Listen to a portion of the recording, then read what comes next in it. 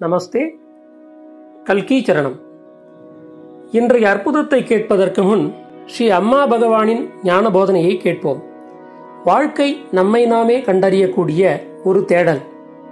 நான் கர்நாடகாவில் உள்ள பிஜாப்பூரில் வசிக்கும் லிங்கராஜ்.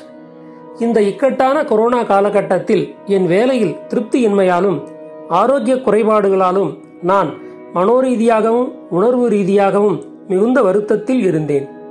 நான் நீண்ட நாட்கள் வீட்டிலேயே இருக்க முடியாத காரணத்தினால் என் பணியில் இருந்து விலகினேன்.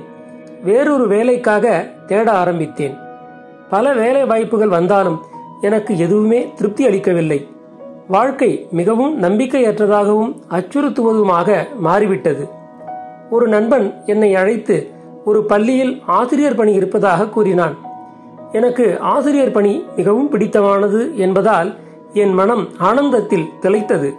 நான் வேலைக்கு விண்ணப்பித்தேன். ஸ்ரீ பரம்ஜோதி பகவதியின் அனுகிரகத்தால் அனைத்து சுற்றுகளிலும் தேர்ச்சி பெற்று மறுநாளே வேலையில் சேர்க்கப்பட்டேன்.